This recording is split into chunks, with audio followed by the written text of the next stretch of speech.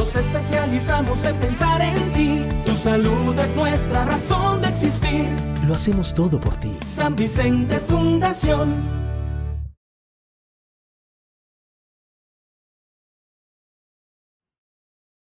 Buenas tardes a todos y bienvenidos a un nuevo ciclo de conferencias de A Nuestra Salud.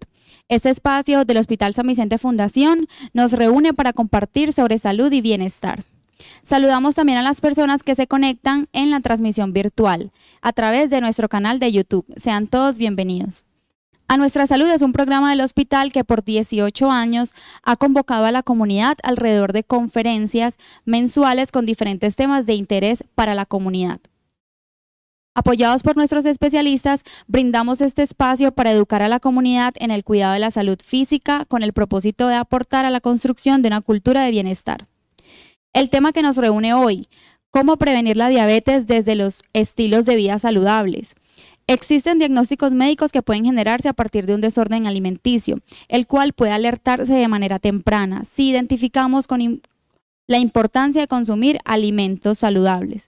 Los especialistas Juan David Gómez, endocrinólogo, y Sandra Milena Galeano, nutricionista, ambos del Hospital San Vicente Medellín, nos acompañan hoy para conversar sobre cómo evitar que nuestros niveles de azúcar en la sangre aumenten a causa de una nutrición desbalanceada.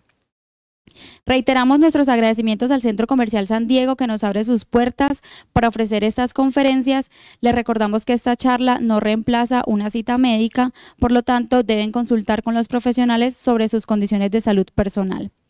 A las personas que nos acompañan en la versión virtual, les recordamos que tienen un chat a la derecha de su pantalla donde pueden dejar las preguntas para los especialistas que se van a resolver al final de la conferencia. Los dejo con los especialistas. Hola, buenas tardes. Mi nombre es Juan David Gómez Corrales, yo soy médico internista endocrinólogo. Yo trabajo en el Hospital San Vicente Fundación. Y yo siempre, cuando veo, yo veo muchas conferencias en YouTube me gusta mucho escuchar de todo. Y de salud me gusta más pues porque yo siempre de niño quería ser médico y quiero ser médico.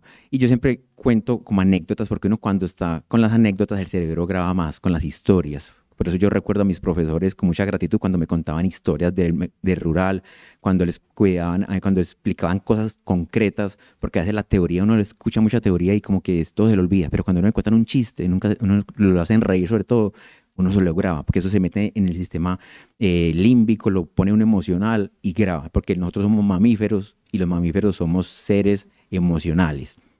Entonces, eh, yo me llamo Juan David, mi abuelo se murió por diabetes. Cuando yo era niño, mi mamá es odontóloga y mi mamá le cuidaba las piernitas que a mi abuelo lo amputaron. Eso fue antes de los, en, el 81 se murió él.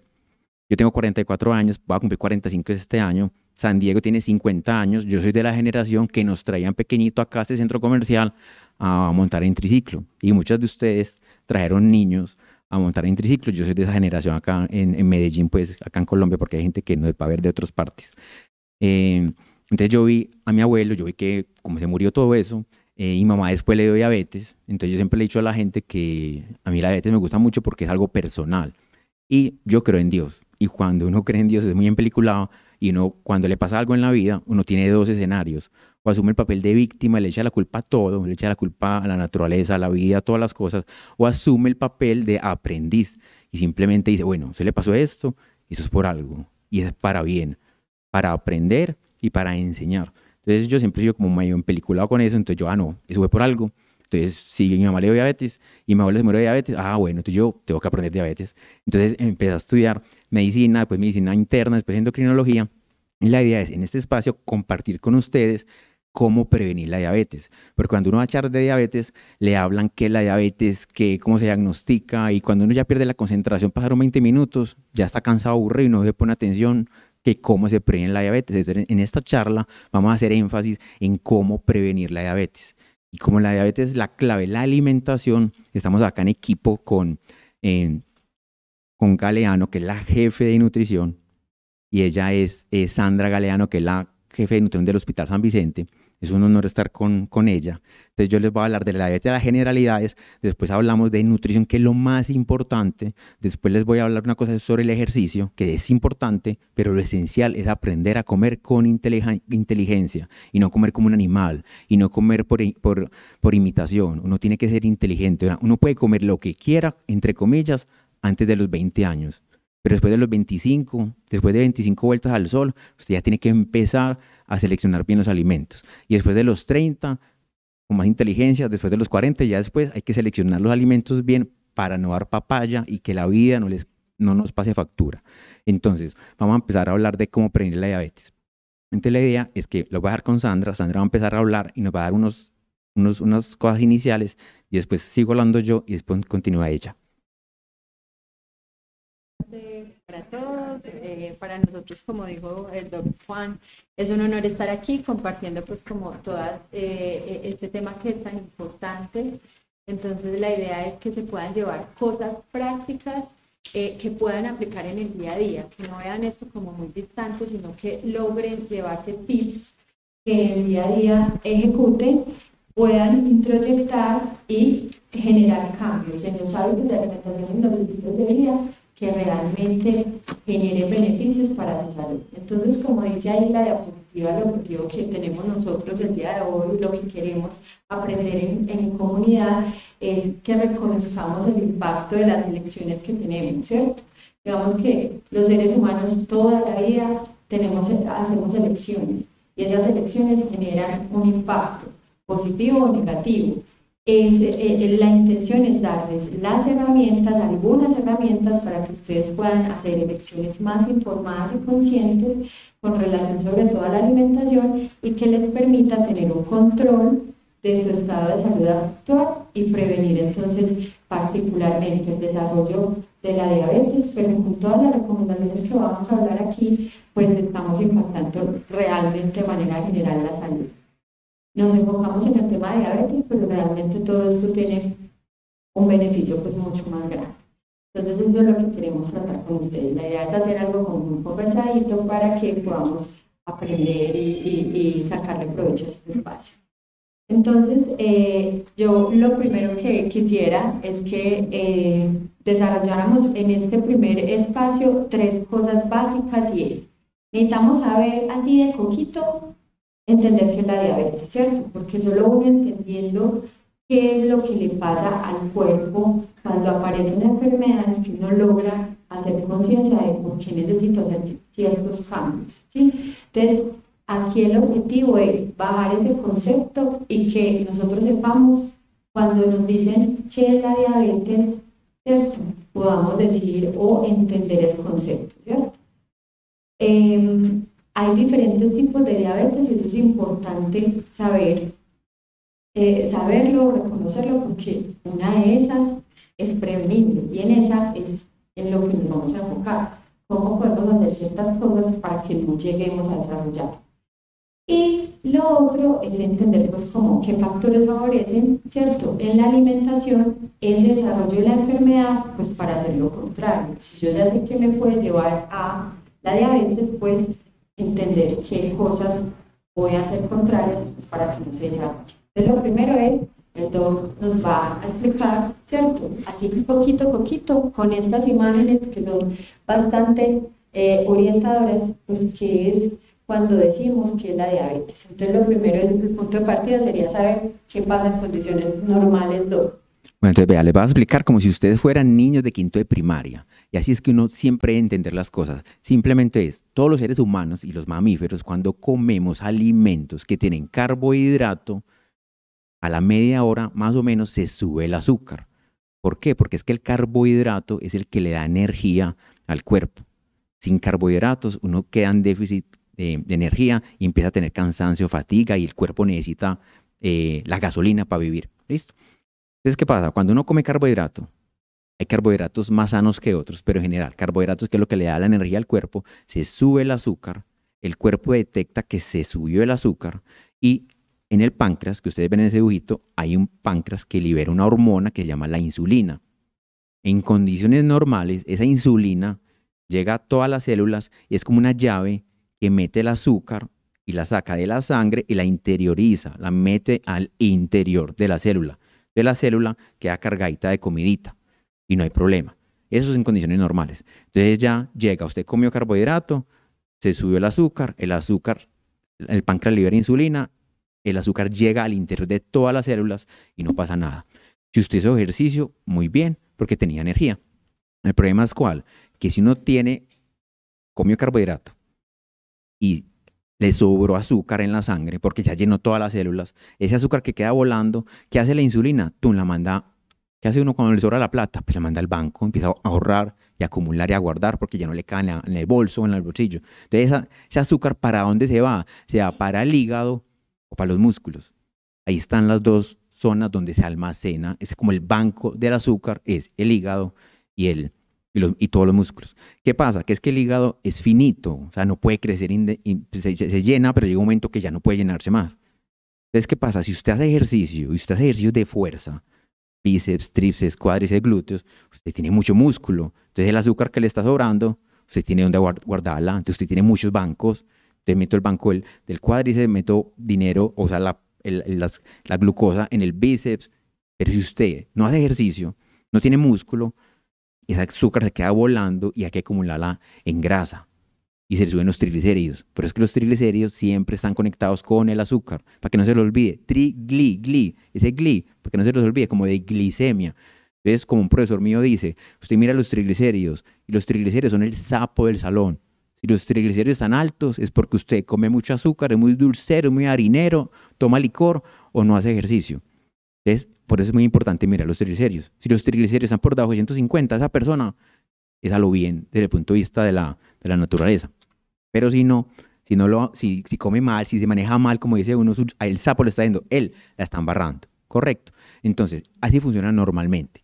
¿Qué pasa cuando la persona eh, tiene desequilibrado por la herencia o por el estilo de vida, es que esa insulina no va a funcionar bien.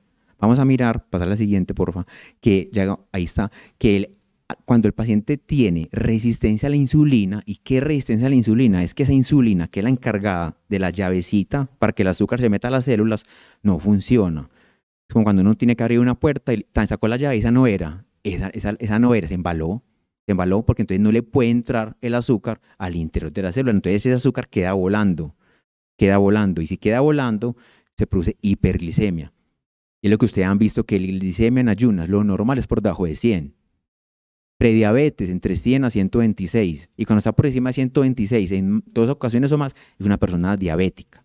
Pero entonces ahí juegan muchas cosas. Juega la alimentación, obviamente. Si usted come mucha comida procesada, mucho dulce, toma licor, el licor es tóxico para el páncreas. Entonces el páncreas no produce adecuadamente la insulina, o sea, la hormona que tiene la llave para meter el azúcar. Si acá hay una cosa muy compleja que ahorita les voy a enseñar, la parte emocional. Eso es algo que a gente le cuesta entender. Las emociones negativas suben el azúcar. La ira es lo que más sube el azúcar. Yo pacientes todos los días con diabetes, el azúcar perfecto, y después tres días con el azúcar alto. Y usted pregunta, señora, ¿qué le pasó? No, doctor, yo tres días planeando con mi esposo. Esa rabiecita, esa ira que siente, crónicamente eso sube el azúcar. ¿Por qué? Porque la rabia, todos hemos sentido rabia alguna vez en la vida. La, ira, eso siente una acá, por acá. Esa rabiecita, no puedo decir la palabra que quiero decir, pues esa rabiecita que uno siente acá, eso sube el azúcar porque libera adrenalina y cortisol. Y, ahí, y el cortisol te puede durar más tiempo. ¿Qué otra emoción sube el azúcar? La culpa, real o imaginaria, porque hay muchas culpas imaginarias, pero la, sensación de culpa también le sube el azúcar. El, la tristeza, la ansiedad, esas emociones con el tiempo le van subiendo el azúcar a la persona porque genera aumento del cortisol. Porque el cortisol, el cortisol es bueno cuando usted está haciendo ejercicio, cuando usted tiene un susto y se le vuelve a bajar después. Pero si es crónicamente, el, miedo, el miedo hacia el futuro, la ansiedad, te sube el cortisol. Con otro problema, el cortisol sube crónicamente, te tumba una hormona que se llama la dopamina, entonces el cuerpo va a generar y quiere conseguir más dopamina. ¿Y dónde está la dopamina? La dopamina está en un montón de partes.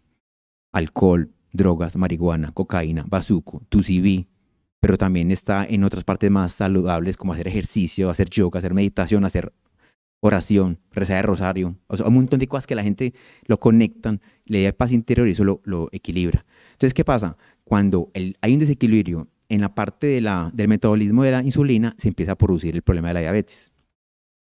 Entonces, en general, no les voy a enredar la, idea, pero la diabetes en general hay varios tipos. Las más frecuentes son tipo 1 y tipo 2.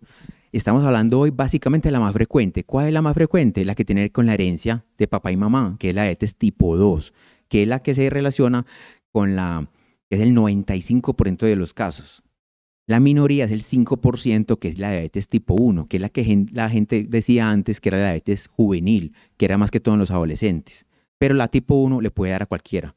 La diabetes tipo 1, como es, es la menos frecuente, pero es que el cuerpo se enloquece y genera defensas, y en vez de atacar a los malos, ¿y quiénes son los malos? Los virus, los parásitos, los hongos y, y el cáncer. Todo constantemente el cuerpo está generando células que si se salen de lo normal es cáncer, entonces el cuerpo elimina esas células para que no se genere cáncer. Cuando las defensas bajan, se le coge ventaja un virus. Ustedes vieron con el COVID, había gente que ese COVID llegaba y no le daba nada. Otra gente la mandó a hospitalizar, un montón de gente mató, porque el sistema inmunológico no, los- no estaba en la jugada. El sistema in- inmunológico tiene que estar en el punto, en el punto justo. A mí me da risa cuando la gente pelea es que izquierda, derecha, izquierda, derecha en la política. Yo digo, mijo, es que hay, que hay que imitar a la naturaleza. A la naturaleza lo que le gusta es la mitad. Porque si usted no está en la mitad, se enferma. Si le sube el azúcar, le da diabetes. Se le baja la hipoglicemia y las dos malas. Lo bueno es tener el calcio, el azúcar, el sodio, el potasio en el punto que es. Porque poquito es malo, muchos también es malo. Entonces, cuando uno está controlando las personas con diabetes, tiene que saber qué tipo de diabetes es, si es la 1 o la 2. La mayoría son diabéticos tipo 2, que se relaciona con estilo de vida occidental. ¿Y cómo son los occidentales? No hacen ejercicio, comen dietas altas en comida procesada, estrés emocional. Entonces es la que más que todo, la más frecuente. Y es la que estamos hablando hoy acá. Porque es que desafortunadamente todavía la ciencia no sabe cómo prevenir la diabetes tipo 1. En cambio, la tipo 2 sí sabemos cómo prevenirla. Eso es lo que estamos enfocándonos hoy. ¿Qué es lo clave para uno evitar que no le dé diabetes? Primero, duele al que le duela, no tomen licor. Así se me venga encima la fábrica de licores y todos los que se ganan la vida con eso. El licor es tóxico para el páncreas. Entonces, si uno quiere que no le dé diabetes, no tome licor. Y si toma licor, váyale bajando, váyale bajando, que va a llegar un momento en la vida que usted va a ser capaz de vivir y, ser alegre sin tomar licor. Recuerdo cuando tenía 8 o 7 años, uno no tiene que tomar licor para hacer reírse. ¿Qué otra cosa? Manejar el estrés. ¿Cómo se controla el estrés? Con lo que uno le gusta, hacer cosas que lo apasionen. Con un hobby. Como dice un profesor mío, el día tiene 24 horas. Cojan una hora, una solita, para que usted haga algo que, lo, que disfrute. ¿Y cómo piensa uno? Mire, cuando usted era niño, ¿qué es lo que más le gustaba? Ah, que le gustaba pintar. Cuando era niño, pinte mandalas. Que me gustaba escribir, escriba. Entonces busque algo que le genere conexión con su niño interior, porque todos somos diferentes. Hay gente que le gusta escuchar música, otra gente le gusta pintar, otra gente le gusta ver las estrellas. Entonces busque algo con lo que se apasione. Otra cosa es hacer ejercicio, tener buenas relaciones interpersonales. No, y a mí me tocar todos los días. No es lo mismo usted tener un paciente que tenga una esposa, un esposo, unos hijos amorosos, que abracen, porque el abrazo libera oxitocina. La oxitocina libera, baja el cortisol, imagínense. Es una tarea para ustedes. Lleguen, oiga, hoy es el Día de la Mujer, felicitaciones, que me abracen, para que me den oxitocina. Ocho segundos de abrazo le, baja la oxitocina, le libera oxitocina y le baja el cortisol. La oxitocina es la misma hormona que se libera en los orgasmos, la que se libera en la lactancia materna. Entonces eso genera vínculos. La oxitocina genera vínculos. Y eso, entonces abrazar es bueno. ¿Qué más hace uno para controlar la, la, eh, la diabetes? Evitar el insomnio, dormir bien. Y todos los seres humanos somos diferentes. Hay gente que necesita ocho horas, otra gente necesita siete, otra necesita seis, otra cinco, otra cuatro, pero todos necesitamos dormir, que estar como en pausa para que el cerebro descanse. Y vamos a seguir hablando con otras cosas para prevenir. Hacerle cambio, porfa. Bueno, entonces, estilo de vida. Yo les digo a los estudiantes, yo soy profesor de la Universidad de Antioquia, entonces yo le digo a los estudiantes, vea, uno tiene que eh, buscar cosas que le liberen dopamina, endorfinas, sustancias que al cerebro le generen placer. Entonces existe el camino de la luz y el camino de la oscuridad. A, los que les gustan las guerras de las galaxias se llama el dark side, el, el la- lado oscuro. Entonces, el lado oscuro es qué? Marihuana, cocaína, bazuco, TCB, drogas. Y ahí también está el alcohol y están los dulces. O sea, el, el exceso de confites, de, de, de helado, de chocolates, porque eso genera placer, esos dulces. Eso en exceso no es, es, es- no es, un niño puede comer lo que quiera, pero mi hijo después de los 25 años no es lo mismo. Doctor, es que yo bajaba muy fácil de peso a los 21. Yo sí, a los 21, es que a los 40 no, ni a los 30, cada vez más complicado. Usted cuando, los de 90 años come muy poquito, porque el cuerpo ya se va adaptando, no necesita comer tantas calorías. Y lo otro es que tienen que seleccionar muy, muy bien los alimentos. ¿Cuáles son los el lado de la luz? Como yo le digo a la gente, haga cosas que le liberen dopamina eh, sana. ¿Cómo es? Haciendo ejercicio, haciendo yoga, haciendo meditación, haciendo oración, como les dije ahorita, tocando un instrumento musical, aprendiendo. Al humano le gusta mucho aprender, así tenga 90 años. Aprender otro idioma, aprender a tocar flauta, lo que sea. Y lo que más le gusta al ser humano es ayudar y servir. Cuando usted se siente útil, usted siente un placer impresionante. Y si es sin, sin- y sin esperar nada a cambio también, es muy rico. Cuando usted está ayudando y usted queda con una cosita acá más rica, eso es bajar el cortisol. Pero cuando usted queda una señora de 80 años y le dice, no, vaya para la casa y no haga nada, la enterró, soledad, ya no la abrazan, no, la van a- no va a tener oxitocina. Entonces eso pasa mucho en, uno- en muchos, desafortunadamente por ignorancia, por tratar de hacer algo bien, está enterrando a ese pobre ser humano. Listo. Bueno, eh, ya seguimos con Sandra. Bueno, entonces eh, el doctor explicó muy bien y relacionó muy bien el tema de, eh, de que podamos, el punto de partida es saber qué es la diabetes y qué le pasa al cuerpo cuando eh, eh, se presenta, ¿cierto? Entonces, eh, y cómo podemos equilibrar. Porque nosotros estamos hablando de algo tan amplio como estilos de vida. Los estilos de vida incluyen cosas adicionales, no es solo lo que ponemos en el plato. La prevención de las enfermedades no es solo lo que vamos a poner ahí, es un punto muy importante, pero hay otro montón de cosas conductuales que van a hacer que nosotros protejamos la salud. Entonces, por eso hablamos de esos estilos de vida. Puntualmente para la prevención de la diabetes, el doctor ha tocado tres puntos claves que son los que queremos que ustedes le puedan llevar que son esos que están ahí en este circulito. La alimentación es el pilar, ¿cierto? Luego entonces está todo lo que es la actividad física y el estado emocional. El equilibrio entre esas tres cosas me permite a mí poder tener en, en- en general una salud adecuada, ¿cierto? Y en esta charla vamos a abordar esos tres, esos tres como eh, componentes a la luz específicamente de prevenir la diabetes. Bueno, entonces ya vamos a desarrollar cada uno de, de estos. El primero es la alimentación, como ya lo habíamos hablado, doctor ya ha dado algunas eh, luces frente a esto y vamos a puntualizar unos tips eh, específicos que ustedes puedan aplicar en el día a día. Entonces, queremos que, que enfocarnos en tres cosas y el objetivo es que ustedes puedan aprender a tomar decisiones informadas e inteligentes en tres momentos claves de la alimentación. Iniciamos donde? En lo que compramos, luego en cómo preparamos y luego en lo que consumimos. Son tres puntos claves de decisión que me van a permitir a mí poder eh, eh, tener los beneficios de la alimentación. Recuerden que la alimentación para el ser humano es el combustible, ¿cierto? Yo lo, lo, lo hablo así con mis pacientes y siempre lo, lo entiendo así. Es como, como los, hay seres humanos que venimos cero kilómetros. ¿Eso qué quiere decir? Libres de enfermedades. Tenemos un cuerpo perfecto, nuestro cuerpo funciona maravilloso, ¿cierto? ¿Y de qué depende que mantengamos ese estado de salud? De cómo tratamos el cuerpo. Es lo mismo como cuando usted compra un carro o compra cualquier cosa. Se la compra perfecta. El paso del tiempo va a tener va a ser que obviamente el funcionamiento normalmente vaya eh, cambiando. Pero el deterioro rápido de lo que usted se compró un carro muy bueno, ¿qué, qué hace que se deteriore antes de tiempo? Que no le pusiste combustible que es, que no le hiciste mantenimiento que era. Es decir, el trato que yo le doy es lo mismo nosotros. El trato que nosotros le damos a nuestro cuerpo condiciona que yo me enferme antes o simplemente no lo haga.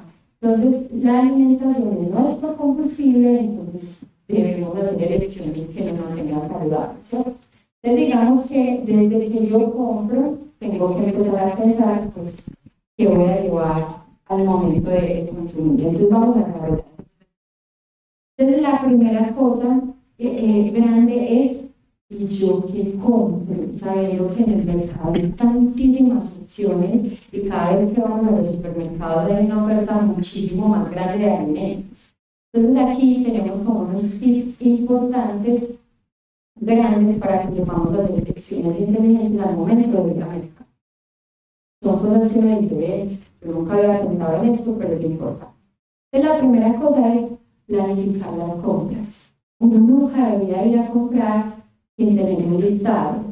Porque cuando yo no tengo un listado, entonces compro lo que está en promoción, ¿cierto? Y generalmente lo que está en promoción suele no ser lo saludable, en promoción o compro alimentos que ya tengo en la casa, entonces el tiempo de consumo se me envejece en la casa, desperdicio más y termino comprando cosas innecesarias y que finalmente no me van a hacer bien. Si yo sé que no debo eh, comprar dulces, pues ni siquiera los debo incluir en la lista, porque una regla básica, si yo no lo compro, pues no lo consumo, porque simplemente que si yo no lo tengo, me antoja, ay, quiero comprar de torta, pero la no la compré, hay que salir a comprarla, ya. Entonces, hay una clave básica es, para establecer hábitos, yo tengo que hacer dos cosas. Si yo quiero dejar un hábito que no es saludable para mí, yo tengo que hacer difícil. Me tengo que poner todas las piedras en el camino. Es decir, yo quiero dejar o bajar el consumo de licor, pues la primera cosa es hacer difícil mi acceso. Si yo no merco eh, el licor, no va a tener acceso, entonces voy haciendo difícil poder consumirlo, ¿cierto? Y lo mismo pasa cuando yo, o lo contrario pasa cuando yo quiero reforzar un buen hábito, pues lo hago muy fácil. Es decir, yo necesito comer fruta, pues entonces ¿qué tengo que hacer? Pues tener disponibles las frutas. Que me da mucha pereza buscar la fruta. Compre la fruta que no, no le tiene que hacer mucho, la que usted simplemente la lava y se la come.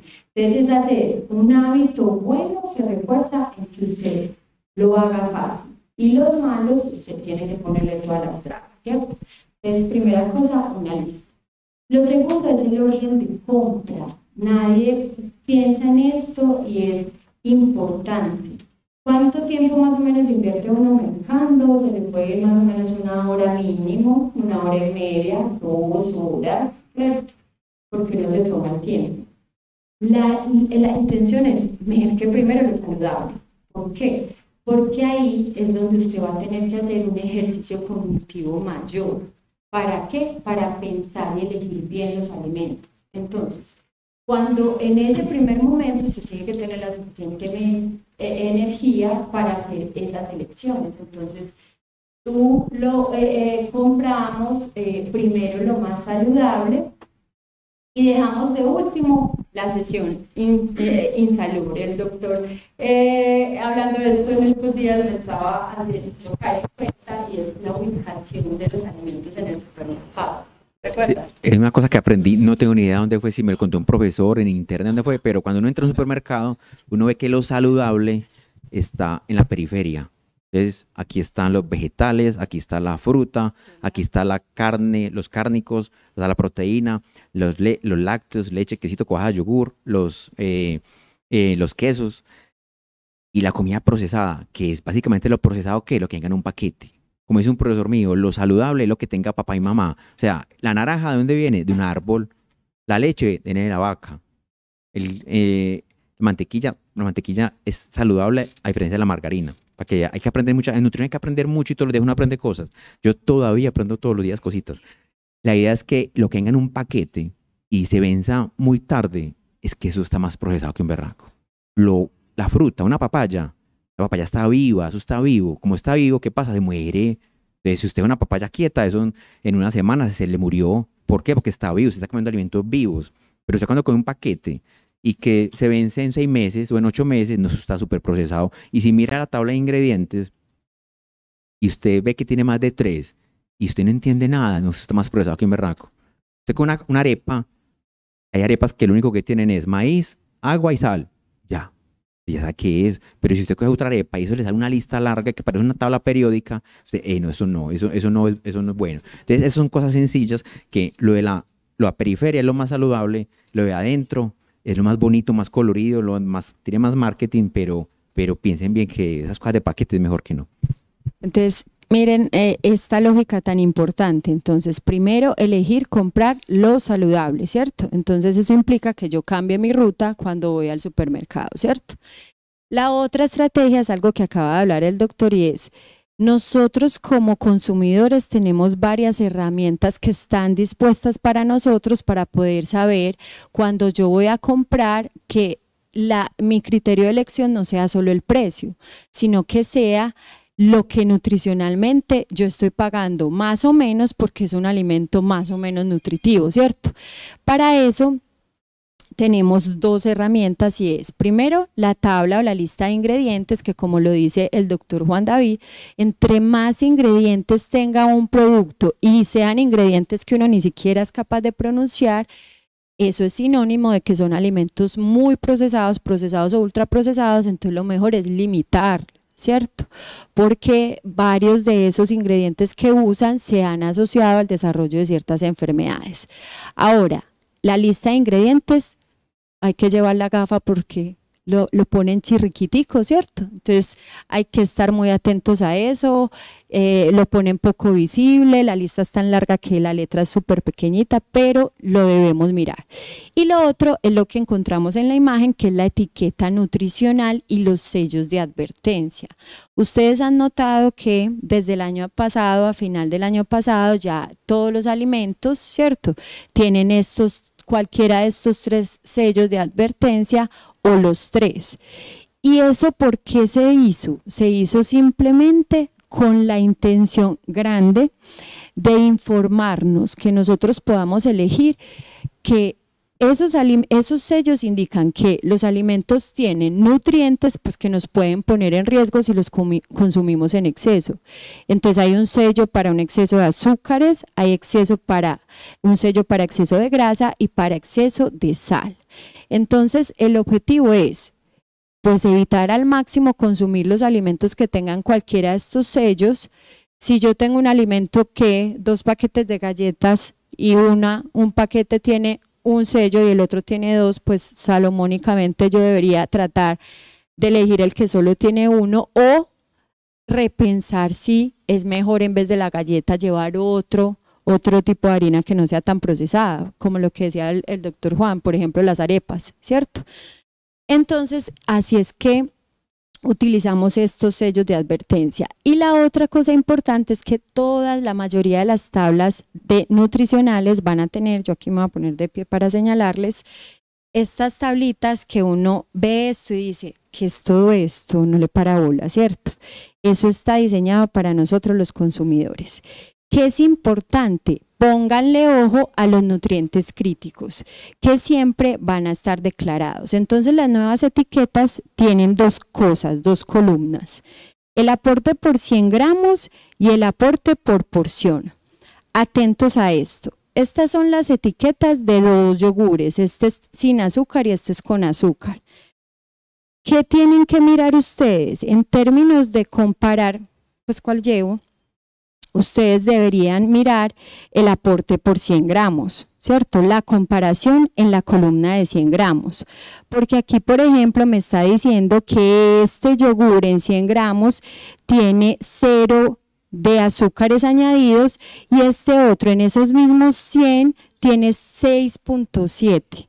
Entonces ahí es cuando yo digo, a este cuesta de pronto 500 pesos más, pero mira el beneficio que me está generando porque no tiene azúcares añadidos, ¿correcto?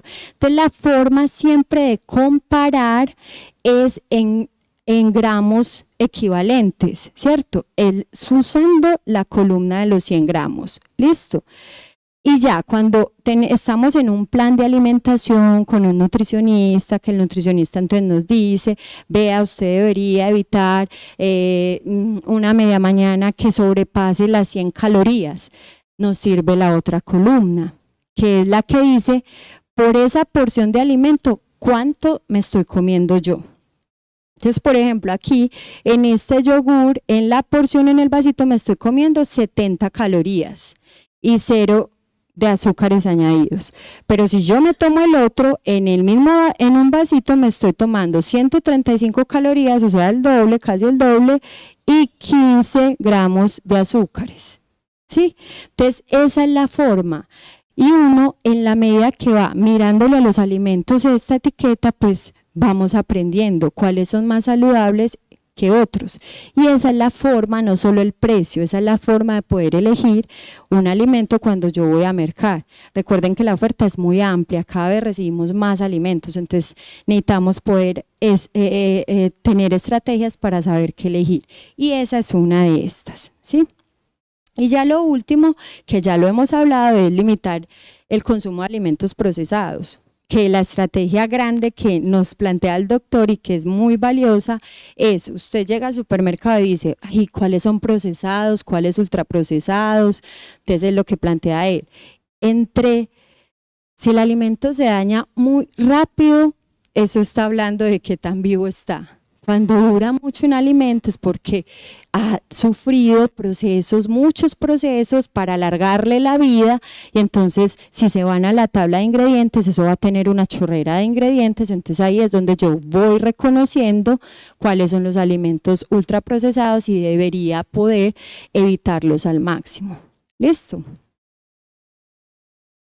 Bueno, entonces esos son los tips que deberíamos tener al momento de la compra. Primer momento, comprar de manera inteligente. Ahora, yo puedo comprar de manera inteligente, pero llego y me descacho con la preparación.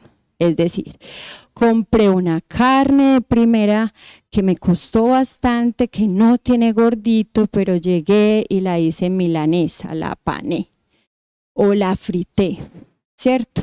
Entonces, digamos que es, hay que tener cuidado con la elección que yo hago al momento pues de cocinar los alimentos. Importante reconocer cuáles son los métodos de cocción. Uno, uno cocina de tres formas, o por agua, o, por, o con grasa, o con aire, ¿cierto?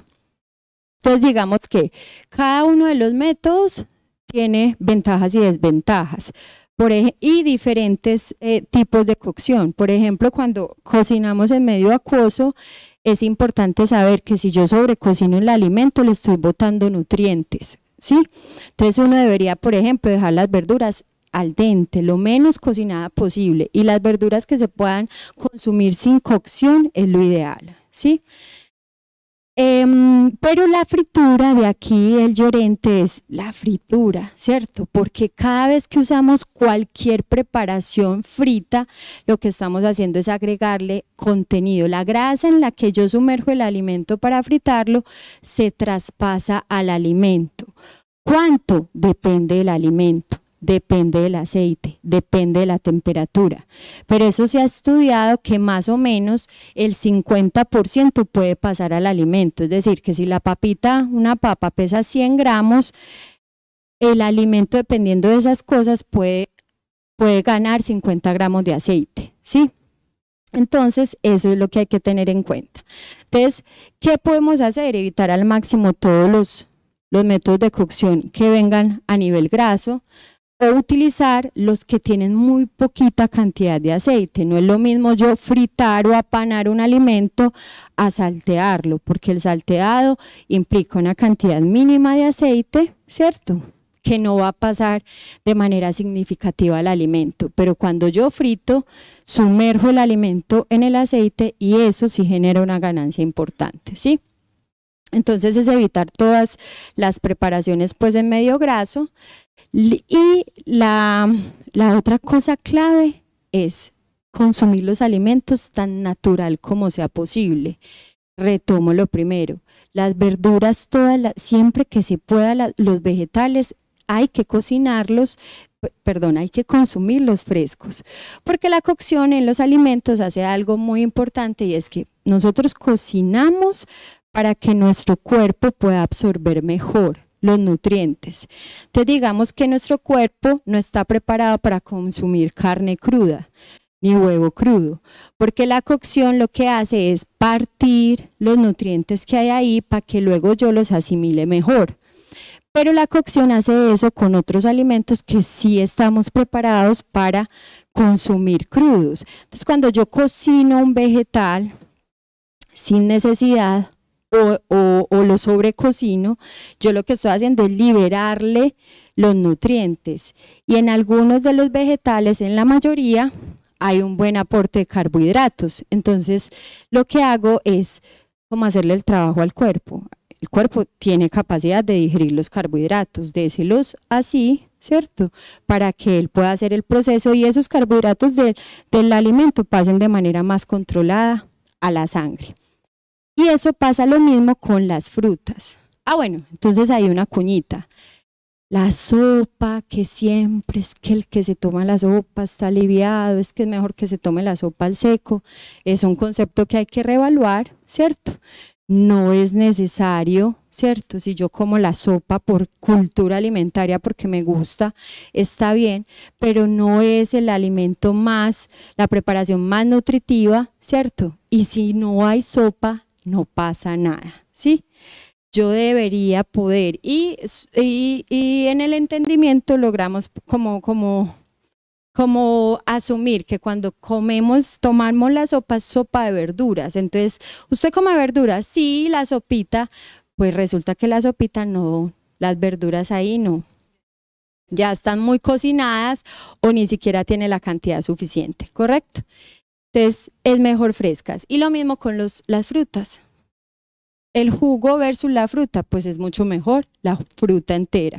Y si la fruta se puede consumir con cáscara, un buen eh, lavado y consumirla con cáscara, porque ahí vamos a tener la fibra y la fibra a nivel del cuerpo tiene muchos beneficios, que más adelante pues como los, los vemos. Ojo con las bebidas.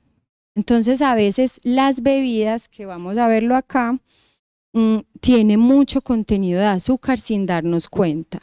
Ay, es que la guapanelita, pero es que es clarita, pero es que se termina tomando seis tintos en el día, en aguapanela, que el azúcar del jugo, que la gaseosa, ¿cierto? Entonces no contamos la cantidad de azúcar que hay en las bebidas y ahorita en una imagen les vamos a mostrar que si eso lo contabilizamos en cucharadas es increíble la cantidad de azúcar que uno se está comiendo en una bebida, ¿cierto? Entonces es para hacer consciente las bebidas lo más natural posible. Bueno, y llegamos al último punto que es consumir los alimentos. Entonces ya hicimos la tarea bien comprándolos, hicimos la tarea bien cocinándolos, pues el toque final o la cereza del pastel es consumirlos bien. ¿Y qué quiere decir eso? Que hay que ponerle atención a cosas básicas que cada vez en esta sociedad se nos están olvidando. Primero, hay que destinar tiempo y un lugar para la alimentación. ¿Qué quiere decir eso? Que es totalmente insalubre comer viendo televisión y es la mejor práctica que tenemos, o comer trabajando, ¿sí? O comer distraído por cualquier cosa. El tiempo de alimentación implica que nos concentremos en la alimentación. Y ahí le pido apoyo a Juan David para que nos explique bien por qué es tan importante concentrarnos al momento de comer y cómo eso me condiciona la saciedad. ¿Listo? Entonces... Lo que que el que manda en el cuerpo es la mente. Entonces hay estudios que muestran que cuando usted mastica bien los alimentos y despacio, se sabe que la digestión empieza en la boca, o sea, la saliva empieza a mezclarse con los, con los alimentos para empezarlos a digerir. Y solo con fatigar este músculo que llama el macetero, el, el, músculo se fatiga y le manda señales al cerebro. Y esos son señales diciéndole, venga, voy a tener mucha comida, no hay que no hay que eh, comer tanto, o sea, se llena uno más rápido. Entonces, si uno come despacio y en tiempo, eh, el ejemplo que yo les pongo a los estudiantes es, mire, si usted, todos hemos ido a cine, o la mayoría, uno va a cine y se compra las crispetas grandes, y usted llega y se ve la película y se come eso inconscientemente y se come todo el paquete de crispetas y no sintió nada, ni, ni se llenó. Pero si usted le da el paquete de crispetas, ¿cómo hacerlo? Yo, no soy capaz de comer todo eso. Pero cuando uno está en modo automático, puede hacer cosas que condiciones de conciencia, eso lo saben muy bien los orientales. los orientales hacen un ritual y eh, hacen oraciones y todo eso, y eso ayuda a como a que la, la mente se dé cuenta que está ingiriendo alimentos para disminuir el volumen y la cantidad de alimentos. Y muy importante otra cosa que dice ahí es la, el inicio es por dónde empezamos. Entonces cada vez hay más estudios que hace 20 años yo no tenía ni idea de eso. Cuando vayan a comer, empiecen siempre por la fibra, la ensalada y la proteína. Y de último se comen los carbohidratos. Es decir, ahorita les muestro una fotico cómo, cómo debería tener un plato. Empiecen por la ensalada. ¿Qué la ensalada? La ensalada tiene, ese se llama el método del plato. Entonces, así, vea, si ustedes aprenden esto hoy, eso ayuda a que si tiene diabetes se controle fácil. Y si no tiene diabetes, que no engorde y que no le dé prediabetes. Así debería comer uno. Así almorcé yo hoy y almuerzo casi todos los días. Ese es el plato. El 50% del plato tiene que ser vegetales, ojalá de todos los colores.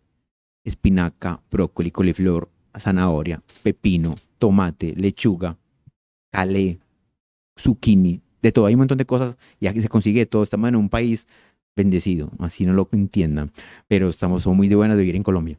Eh, tenemos muchos alimentos, entonces la mitad que sean vegetales y empezar por eso. ¿Y qué le echa? Le puede echar aguacate. El aguacate es una grasa saludable que da llenura y lo más rico del mundo. Lo único malo del aguacate es que cuando, cuando usted almuerza, terminó y se dio cuenta que tiene un aguacate maduro y no lo comió. Eso es lo único malo del aguacate. Pero el aguacate le aumenta el sabor a todo y sabe muy rico. Le puede echar limón.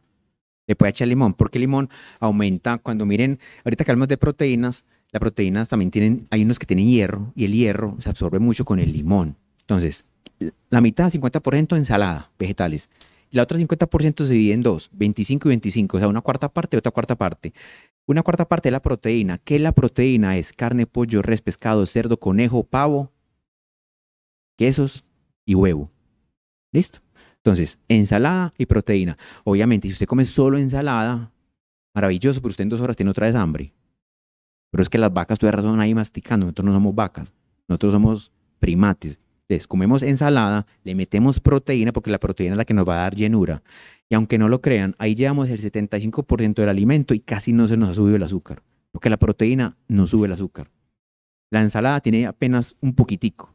Lo que sube el azúcar son los, el 25% de los carbohidratos. ¿Y qué carbohidratos vamos a escoger? Los saludables. Pues yo soy paisa, pues entonces yo siempre digo arepa, ¿cierto? Arepa, arroz, eh, papa, yuca, ñame, plátano. Eviten el pan. Así, eso les va a doler a un montón de gente, pero el pan, el pan, miren, piensen en esto. ¿Qué tiene la arepa? La arepa tiene maíz, sal y agua. El pan, ¿qué tiene? El pan tiene harina de trigo procesado, mantequilla, mantequilla o, margarina, azúcar y sal. Entonces eso al cerebro, como dicen los pelados, lo hackea.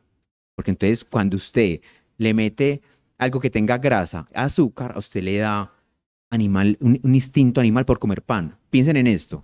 Usted pasa por una panadería y, huele el pan recién hecho y usted le sale, se le sale el animal, usted le dan ganas de comer ese pan.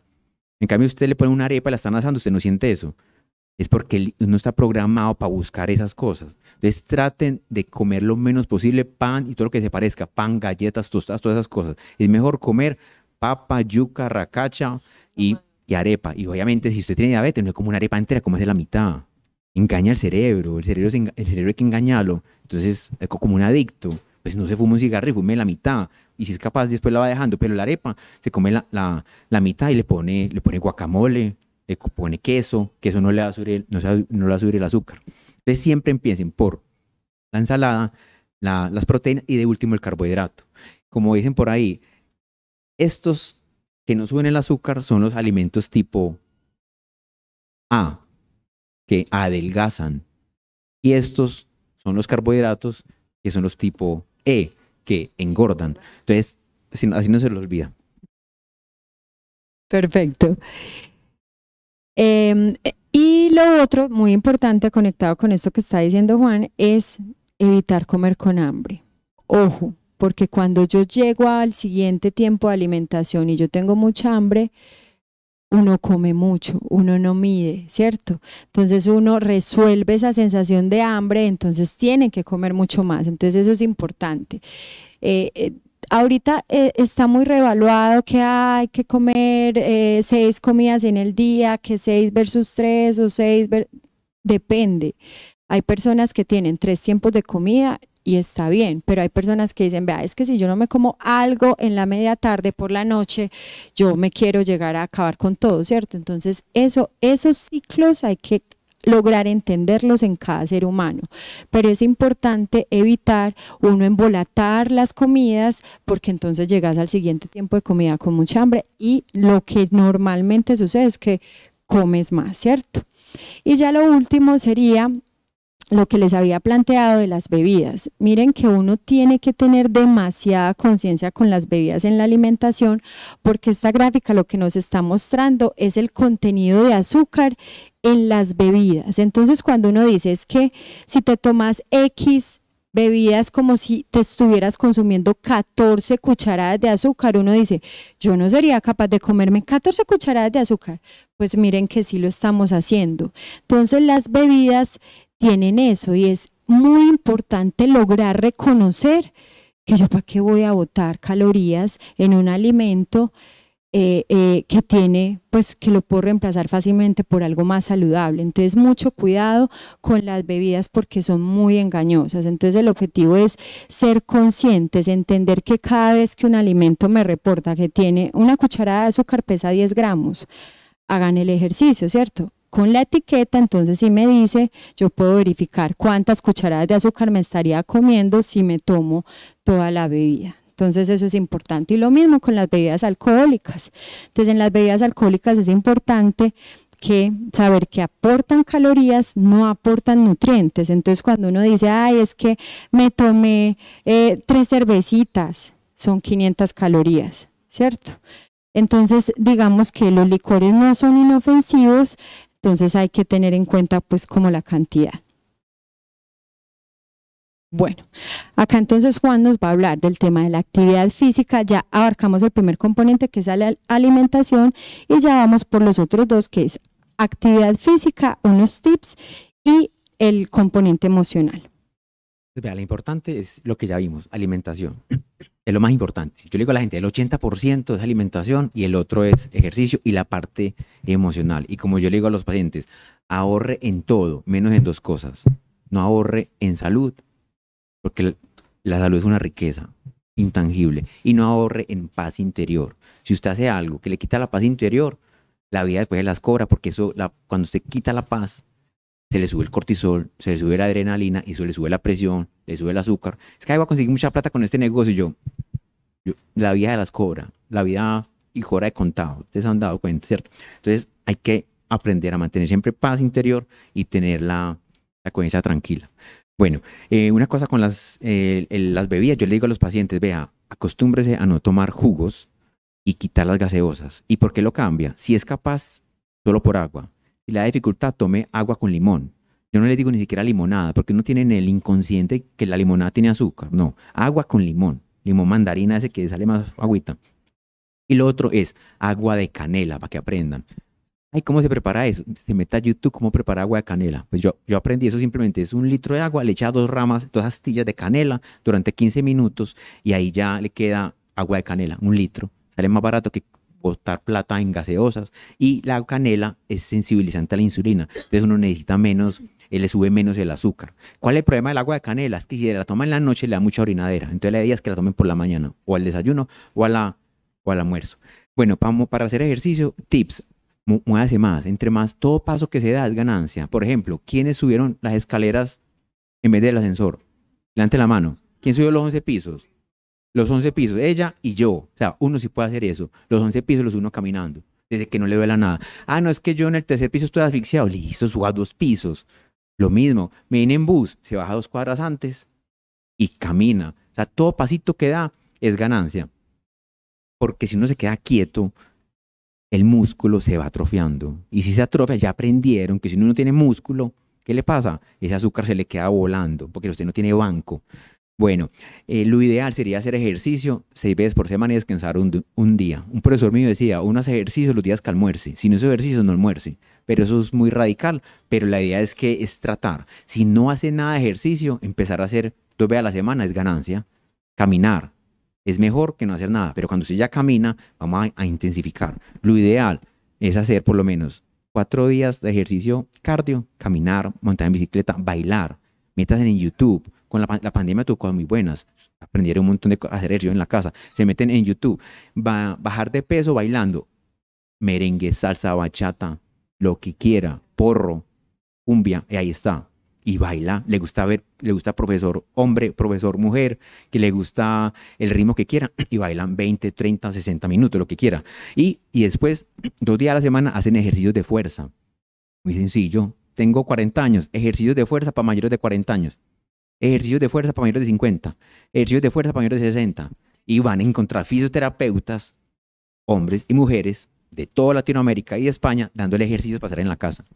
Bueno, ojo con las lesiones. Y lo otro es eh, aprovechar las redes sociales. La idea es, el estilo de vida saludable básicamente es conectarse con uno mismo. Si usted se en película y reza rosario y lo llena, rece rosario todos los días. Doctor, tengo que ir los martes a la misa de María Auxiliadora. Vaya para allá. Tengo que ir al. Vaya para allá. Doctor, ¿sabes qué? Yo no creo en eso, pero yo hago yoga y soy feliz. Haga yoga. Haga meditación. Me tocó una paciente que madrugaba a las tres y media a hacer yoga, después hacía media hora de meditación y después iba para la misa. Haga lo que sea, pero si le da paz, lo está cuadrando. Listo. Eh, abrazarse con los seres queridos. Si tiene peleas con alguien, pida perdón. O sea, oh, cuando uno tiene rencor, el que sufre es uno. ¿cierto? Entonces, estar en paz con el universo. Lo otro, eh, buscar el pasatiempo, el hobby, algo que usted lo haga con tanto amor que ni siquiera le tienen que pagar para que usted siente disfrute. Y la idea es eh, reconocer que cuando uno va a hacer algo, cuando el hábito, uno empieza muy motivado y eso es, uno quiere eh, hacer ejercicio, pero con el tiempo eso se le va a ir quitando las ganas. Tiene que generar algo que le guste y cuando uno va a hacer ejercicio tiene que responder tres preguntas. Primera pregunta, que sea algo que le guste, porque si no le gusta, si usted compra una elíptica y no le gusta hacer elíptica, usted en tres meses no lo está haciendo. Entonces, primera pregunta, si le gusta. Segunda pregunta que tiene que responder, ¿es algo que usted tenga tiempo? Si no tiene tiempo, doctor, es que a mí lo que me gusta jugar voleibol. Sí, pero es que usted de 40 años con hijos chiquitos, jugar voleibol tres veces a la semana es muy difícil. Entonces, algo que usted tenga tiempo. Si tiene tiempo de bailar por YouTube media hora. Y tercero, algo que pueda hacer por el resto de su vida. Doctor, es que a mí me gustaba era boxear. Ah, Pero es que usted cuando es un boxeador de 90 años, no. Pero uno sí ve personas de 80, 90 años caminando, montando en bicicleta, bailando. Entonces, bailar es lo mejor del mundo. Y lo combinan con ejercicios de fuerza. Listo. Es importante aquí es, hagamos el diagnóstico, ya tenemos unos tips, ¿qué debemos hacer? Pues empecemos a preguntarnos, ¿qué es lo que de lo que hablamos acá, qué hacemos? Y consérvelo. ¿Qué todavía no hacemos? Implementémoslo. Y lo que ya venimos haciendo que es saludable, pues reforcémoslo, ¿cierto? Entonces ese es el mensaje grande que nosotros queremos dejarles, que no es lo que está en el plato, sino es una combinación de factores, alimentación, actividad física y la eh, eh, eh, salud emocional, que hay muchas estrategias, encuentre la que a usted le enganche y logre que eso se convierta en un hábito, ¿cierto? Entonces esta imagen refuerza lo que dice el doctor y es, si no lo hago un día no pasa nada, pues sí, sí pasa. El objetivo es concentrarme en generar el hábito y para generar el hábito yo lo tengo que hacer todos los días hasta que llegue el día en que no me cueste, en que me haga falta y que yo lo disfrute. Ya para terminar entonces estas frases y vamos a la sesión de preguntas. Una frase muy bonita de Aristóteles que dice, somos los que hacemos día a día, de modo que la excelencia no es un acto, sino un hábito. Y la otra es esta frase de la favorita mía, que la comida sea tu alimento y tu alimento sea tu medicina. Esa es de Hipócrates, el padre de la medicina. Una cosa que les quiero decir, uno siempre piensa, no, que el derecho a la salud, que el derecho, el derecho, pero la verdad, con dolor en el alma, la salud es un deber también, o sea, es un deber de nosotros como seres humanos cuidarnos para que no nos enfermemos, pensando en la familia, porque si uno se enferma es una carga para la familia, durar al que le duela, porque yo a mí me toca ver todos los días eso. Y no es lo mismo usted llegar a los 95 años como un roble, como uno de esos campesinos que comen aguacate, ensalada y arepa todos los días, a los que llegan a los 50 en, lo- en los reines, como, como digo yo. Entonces es mejor llegar saludable y si uno llega sano, consume menos medicamentos y es mejor para el sistema de salud. Muchas gracias.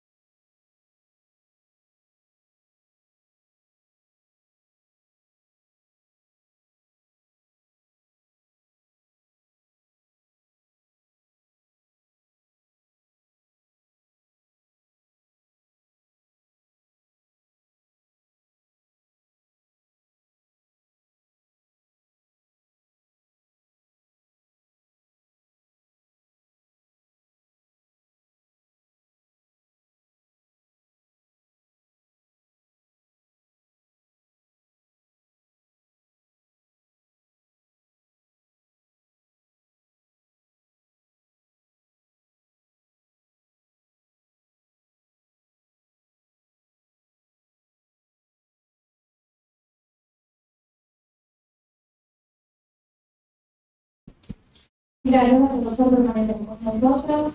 Vamos a tener una sesión de preguntas, empezando por si la harina es un azúcar, ¿cómo se debe consumir? Pues eh, el objetivo es lograr disminuir pues al máximo los, las harinas refinadas, ¿cierto? Porque en esas pues hay eh, la fibra como tal que tiene, pues el alimento lo ha perdido cada vez que se refina. Las harinas normalmente, los alimentos que lo contienen pues son, es, es un cereal muy refinado. Lo ideal es hacer transiciones a otros que no sean. Por ejemplo, una buena transición sería utilizar la avena, que es igual un cereal, pero si la compramos en hojuela entera, es un cereal un poco más saludable, tiene mayor aporte de fibra, ¿cierto? La otra cosa es hacer conciencia de los alimentos como tal, pues porque la harina se utiliza en muchas preparaciones, pero es tratar de limitar al máximo los alimentos que la contienen, ¿cierto? Tratar de reemplazarlo por preparaciones que sean con alimentos un poco más más naturales como tal. Entonces ahí es donde hablamos de, los, de, de las opciones de los plátanos, de los tubérculos, ¿cierto? Y eh, tener especial cuidado, que creo no lo mencionamos, con el tema de productos de pastelería y panadería, porque allí hay varias cosas. Dependiendo del producto va a tener un contenido alto de harina, pero además contiene azúcar, pero además puede contener eh, una, porciones significativas de grasa. Ejemplo, un pastel, un pastel de arequipe. Entonces tenemos la grasa de la mantequilla, el hojaldre, el azúcar eh, de la del arequipe, ¿cierto? El azúcar que le ponen encima. Entonces, digamos que miren que es una cantidad y además la harina que se usa. Entonces, es un alimento que tiene bastante carga pues de todos estos alimentos. Lo otro que yo iba a decir ahí es muy importante porque es cuando uno come esos alimentos liberan dopamina y genera placer. O sea, pues a todos nos gusta la natilla, el buñuelo, ¿cierto? Entonces, uno que lo que tiene es que hacer lo que yo le digo a los pacientes, vea, aquí nos, nos crearon al- en la cultura judio-cristiana, ¿sí o qué? Entonces, en el Génesis aparece que Dios creó el universo en seis días y descansó uno. Entonces yo le digo a los pacientes, bueno, manéjese bien seis días a la semana. Y un día, ah, si usted le gusta la hamburguesa, come la hamburguesa. Si usted le gusta la pizza, come la pizza. Pero un solo día. Pero no lo que hace la gente, que el, fin de semana empieza es que el jueves. Y come jueves, viernes, sábado, domingo. Y en siete días lleva cuatro días comiendo mal. Entonces la idea es que si se gustico, cada uno tiene su gusto personal, pero solo una vez. Porque si no, no hay ese equilibrio que el cuerpo necesita. La pregunta es, ¿las bebidas light son malas o calorías? Entonces, vea, lo light es que tiene cero calorías y cero carbohidrato. Esos. Entonces, si usted toma gaseosa, es mejor que pase de gaseosa normal a gaseosa light, cualquiera que sea la marca. Lo que pasa es que cada vez hay más estudios y muestran que esas sustancias que son endul- endulcorantes alteran la microbiota intestinal. La microbiota son las bacterias que hay en el colon, en el tracto digestivo y las, y las daña. Entonces, por ejemplo, comparan, por decir algo, los, la microflora o la microbiota de los indígenas en Amazonas salvajes puro que comen alimentos de la selva amazónica, que todo está vivo, ¿cierto? Y nada es procesado. Entonces tiene una biodiversidad de bacterias en el colon que es muy saludable. Allá, yo he hablado con médicos que han trabajado en la selva, allá no existe la diabetes ni la hipertensión. No hay. Los, los indígenas de verdad, no los indígenas que son ahí, que, que solo lo que quieren es pedir cosas. No, el indígena que está en la selva de verdad, ellos están comiendo cosas saludables. Pero cuando usted, esa persona, la ponen a vivir en Nueva York o en un país occidental, esa biodiversidad de las bacterias del colon se le baja mucho. Por eso es que la respuesta es lo ideal es comer cosas saludables. Saludable, agua, agua con limón, agua de canela. Pero siempre nos coge entre dos males el menos malo. Entonces, menos malo la Coca-Cola o la cualquier gaseosa light que la, normal. Ahí hago una aclaración y es importante saber que lo light no necesariamente es libre del todo de azúcar, ¿cierto? Es una reducción que en la mayoría de las bebidas cuando se categorizan como light es porque de verdad reemplazaron todo, pero hay unas eh, que de pronto le quitan el 50%. Y lo light es que reducen el componente de algo. Entonces, ¿qué es lo light en una sal? El contenido de sodio, ¿cierto?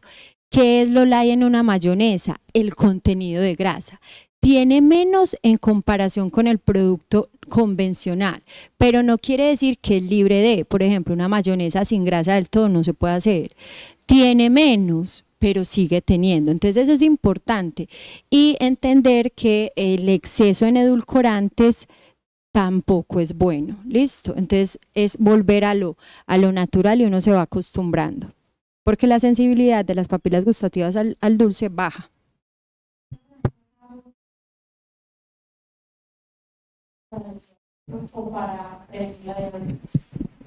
Entonces la idea, como ya les dije, lo ideal es cero, es más ahorra plata, porque que eso vale.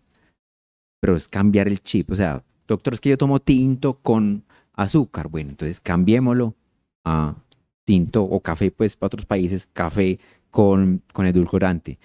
Pero que ya llegue un momento que usted sea capaz de vivir sin necesidad de eso. Por lo que le estoy diciendo de la, de la microbiota. Lo ideal es comer lo más saludable posible. Y la idea es ir haciendo transiciones escalonadas, ¿sí? O sea, póngase metas que usted vaya alcanzando a, un buen ritmo, pero exíjase. Es decir, es que yo me tomo eh, todos los tintos en agua panela, bueno, entonces reemplácelos por agua y los endulza, ¿cierto? Cuando ya haya, eso ya es una ganancia. Cuando ya los endulzó, entonces ya no le voy a poner el sobre completo, sino la mitad.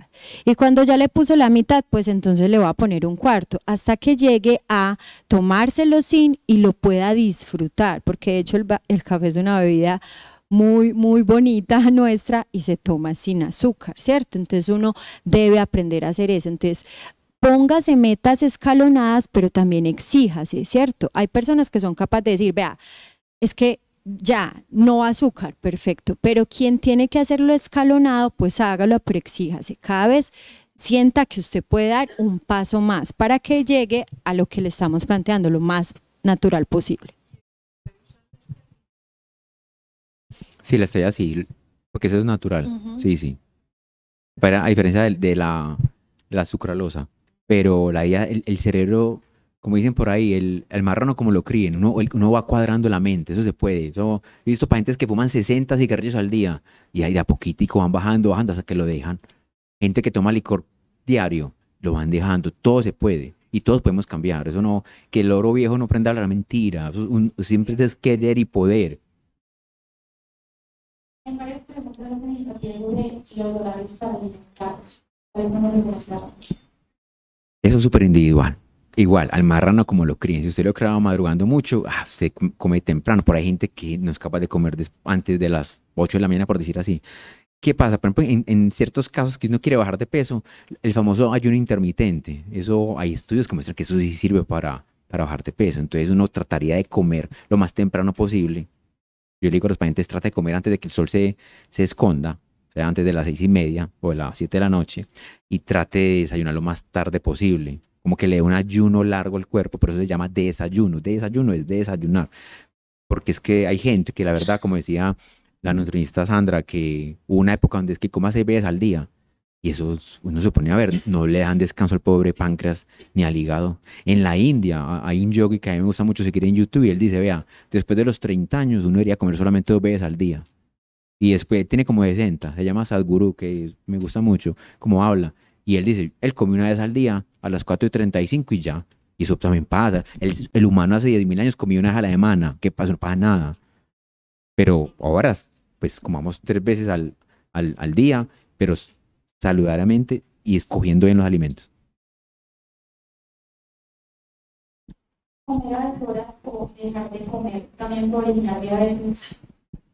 En general, no. Lo que pasa es que cuando usted no tiene disciplina, si usted se quedó sin comer, es muy diferente usted tomar decisiones en la vida y en cualquier cosa con el lóbulo prefrontal que tomarla con el sistema límbico. sistema límbico es el animal que todos tenemos por dentro, la parte emocional. cuando usted le da un ataque de hambre, el cuerpo tiene el azúcar bajito, usted lo que quiere es subir el azúcar. ¿Usted qué busca? Chocolates, parva, pasteles, todo lo que le suba el azúcar rápido. Usted con un ataque de hambre no va a buscar berenjena, ni zanahoria, ni lechuga.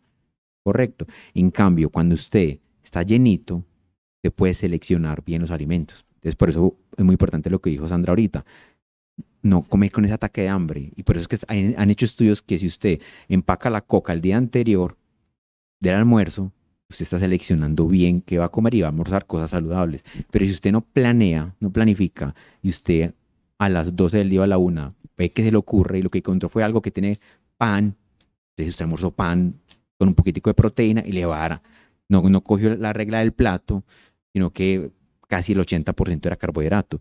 Ojo, la comida, eh, por ejemplo, antioqueña, la bandeja paisa, eso es muy bueno para un campesino, un arriero, que eran los que inventaron esos platos, que quemaban muchas calorías y no pasaba nada, y comían sopa, tú, eh, repetían, no pasaba nada. Pero es que esa comida para un citadino no es saludable. A no ser pues que tenga 15 años.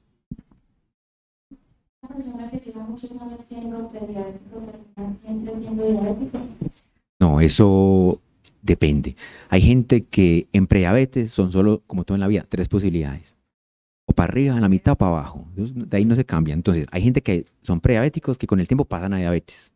Hay prediabéticos que con el tiempo cambian el estilo de vida, comer bien, hacer ejercicio y cambiar su chip emocional, su parte mental, emocional, como ve la vida y vuelve a ser completamente en rango normal. Hay gente que se queda toda la vida en prediabetes. Otra cosa, hace para dos años salió un estudio, cogían personas es que antes a uno le enseñaban que la diabetes tipo 2 era incurable. Y después dieron cuenta que la gente que bajaba 40, 50 kilos con el bypass gástrico, sí se curaba la diabetes. Hace dos años se publicaron un estudio y se dieron cuenta que cogían personas diabéticas y los que bajaban 15 kilos, un porcentaje casi el 80%, se curaron de la diabetes. Lo que pasa es que no se dice la palabra curación, sino remisión. ¿Por qué?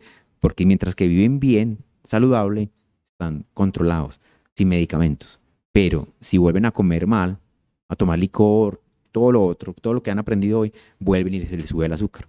Entonces, hay muchos pacientes diabéticos tipos que sí se pueden entrar en control sin medicamentos. Eso depende de cuánto ya con la diabetes, qué medicamento está tomando. No es lo mismo el que toma solamente un medicamento, al que toma tres medicamentos más insulina y se aplica insulina. Entonces, depende. Pero sí se sabe que el que tiene diabetes tipo 2 y que tenga sobrepeso u obesidad y baja 15 kilos, mejora demasiado. Ahí para reforzar es importante pues tener en cuenta que no lo abordamos como tal, pero es el impacto de las personas que tienen un exceso de peso o obesidad cuando hacen cambios en los estilos de alimentación y en el ejercicio, en todo lo que hablamos y logran hacer una disminución saludable y progresiva de peso. Entonces, hay, si está en estado de prediabetes, eso, cierto, se, se revierte. Y por eso nosotros estamos hablando es de patrones y estilos de vida de alimentación, porque el objetivo, ojo con eh, eh, creer que la solución es hacer una dieta, porque cuando yo estoy pensando en que voy donde el nutricionista, que me haga una dieta para perder los kilos para la fiesta que tengo en un mes, yo voy a hacer algo con un objetivo a corto plazo y luego voy a retomar a mis hábitos anteriores y el efecto no se va a ver. Entonces el objetivo es generar cambios que se introyecten y se conviertan en hábitos. Entonces, eso que se logren mantener en el tiempo. Entonces, ese, realmente es el beneficio de, todo esto que hablamos.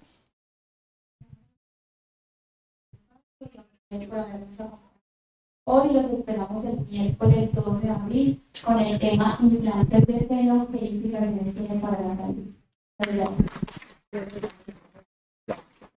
Nos especializamos en pensar en ti. Tu salud es nuestra razón de existir.